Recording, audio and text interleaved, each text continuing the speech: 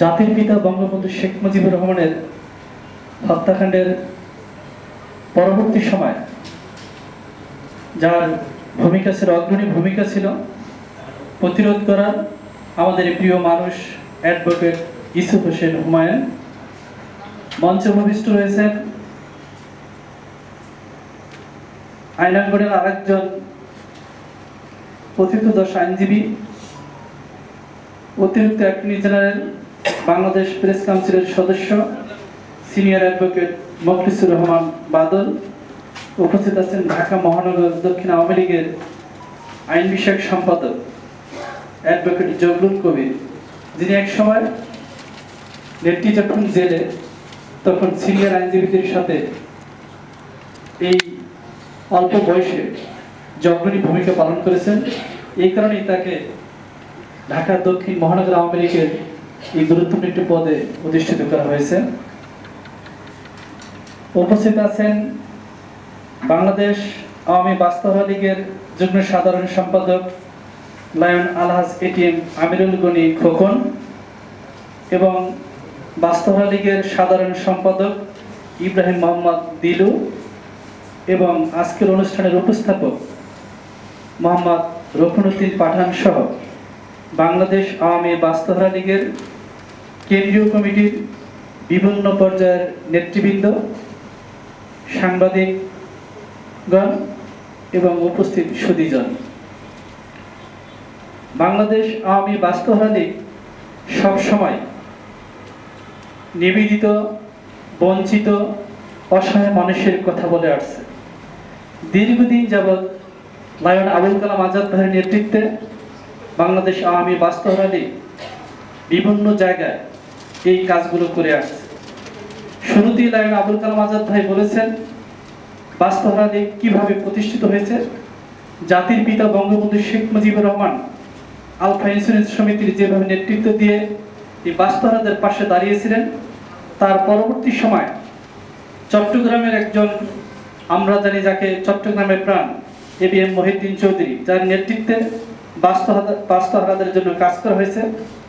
জাতির পিতার কন্যা বিশ্ব শান্তির অগ্রদূত, সফল রাষ্ট্রনায়ক মাদার অফ হিউম্যানিটি সারা বিশ্বের ভিতরে তিনি সতত এবং আদর্শের উৎকৃষ্ট উদাহরণ।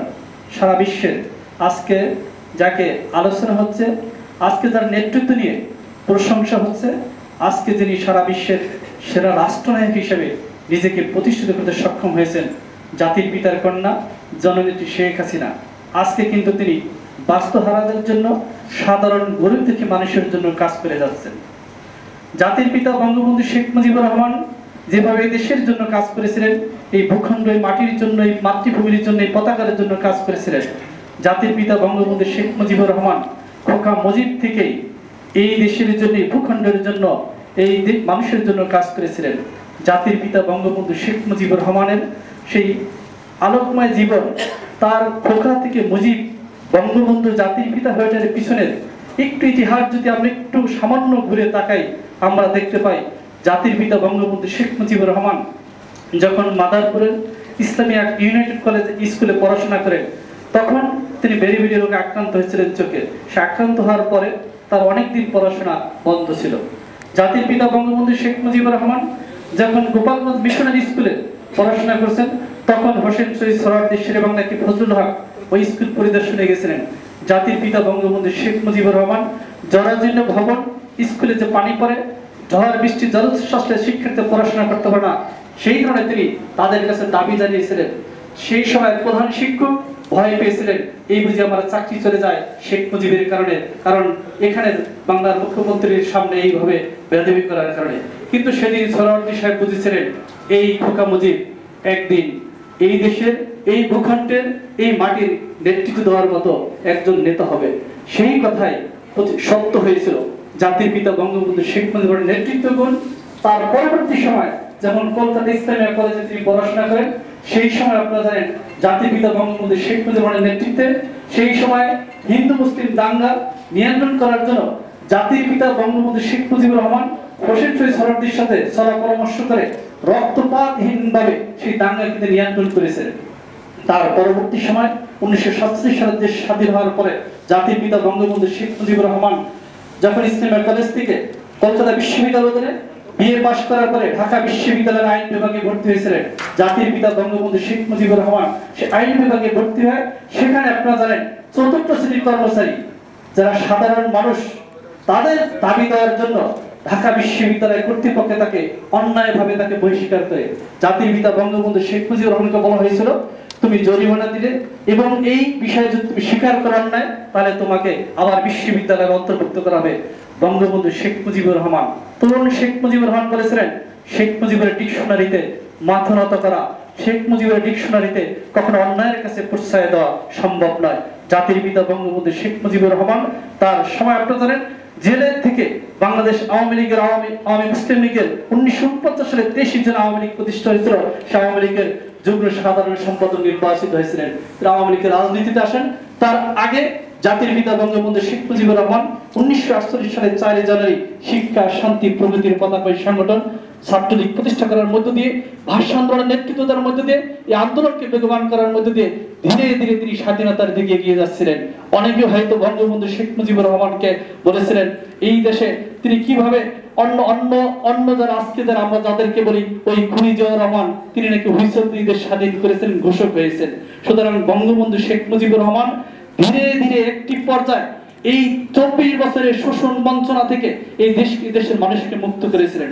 জাতির পিতার নেতৃত্বে উনিশশো সালের ভাষা আন্দোলন উনিশশো সালে যুক্তফ্রন্ট নির্বাচন, বা আটান্ন সামরিক শাসন বিরোধী আন্দোলন, বাষট্টির শিক্ষা সংস্কৃতি আন্দোলন, উনসত্তরের গণ অভ্যুত্থান সত্তর নির্বাচন, একাত্তরের মহান মুক্তিযুদ্ধ, জাতির পিতা বঙ্গবন্ধু শেখ মুজিবুর নেতৃত্বে এই বাঙালি জাতি অর্জন করছিল।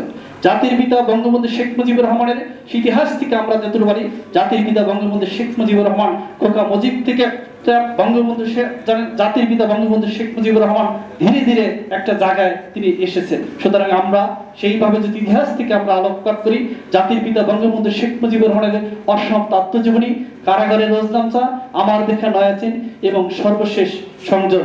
আপনার সিক্রেট ডকুমেন্ট যেটা আজকে ইসিবেশন হুমায়ুন স্যার এখানে উপস্থিত রয়েছেন, তিনি এই বিষয়ে আরও ভালো বলতে পারবেন। সেই বিষয়গুলো আমরা বলিয়ামগুলো যদি আমরা সম্পূর্ণ পাঠ করি, তাহলে কিন্তু আমরা জানতে পারব বঙ্গবন্ধু শেখ মুজিবুর রহমান একজন মহামানব।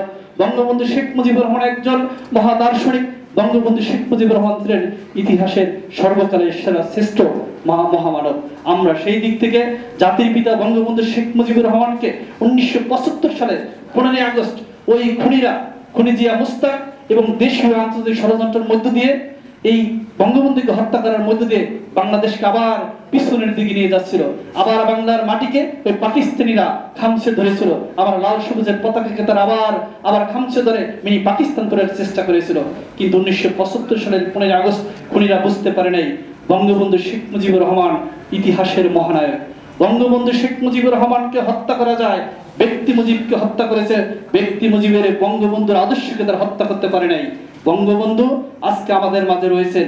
তার স্মৃতি, তার আদর্শ, তার চেতনা, তার আজকে আমাদের মাঝে রয়েছে বিদায়। আজকে কিন্তু বাংলাদেশ জাতির পিতার কন্যা, বিশ্ব শান্তির অগ্রদূত স্বপ্ন রাষ্ট্রনায়ক জননেত্রী শেখ হাসিনা বাংলাদেশের কাছে এগিয়ে যাচ্ছেন। যার ধমনীতে জাতির পিতা বঙ্গবন্ধু শেখ মুজিবুর রহমানের রক্ত স্রোত দ্বারা বহমান তিনি রাষ্ট্রনায়ক শেখ হাসিনা। তিনি একই কথা বলছেন, তার ডিকশনারিতে ভয় নেই, তার ডিকশনারিতে কোনো দুর্নীতি নেই, তার জীবনে একটি চাওয়া হচ্ছে জাতির পিতার অসমাপ্ত সোনার বাংলা প্রতিষ্ঠিত করা, ক্ষুদা দারিদ্র মুক্ত বাংলাদেশ প্রতিষ্ঠা করা। ইতিমধ্যেই ক্ষুদা এবং দারিদ্র মুক্ত বাংলাদেশ প্রতিষ্ঠা হয়েছে।